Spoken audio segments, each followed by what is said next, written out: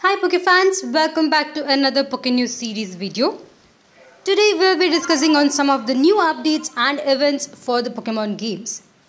Up first, we have a new 7 star raid that has been announced for Pokemon Scarlet and Violet games. This event will feature a battle against Decidueye with Flying type and a Mighty Mark. As usual, you can only catch it once per save file, but definitely I think defeating it multiple times would help considering you do get some really good rewards. Now we don't really have too much details on this and I'm hoping we'll get it once the event has begun. Up next is a news on Pokemon Unite.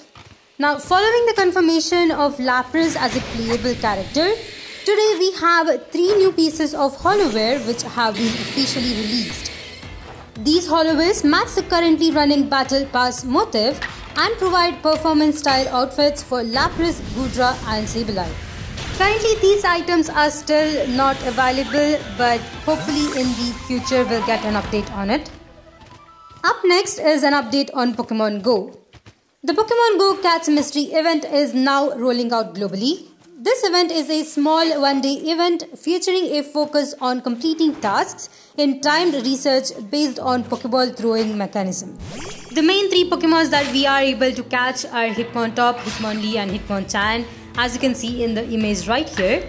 And based on different kind of tasks, you'll be able to find these Pokemons. Also get a chance to hatch a shiny Tyrogue through eggs.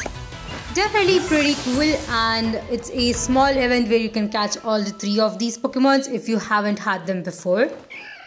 My last update is just a small reminder and this is on the Nintendo 3DS and Wii U eShops which will stop allowing new purchases or downloads on March 21st onwards.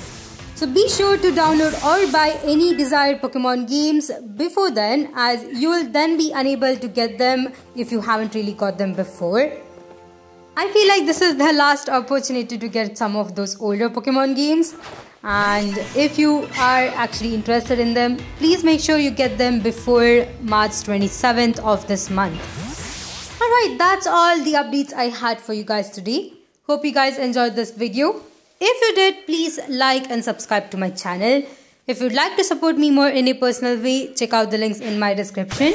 And I'll see you guys in the next one.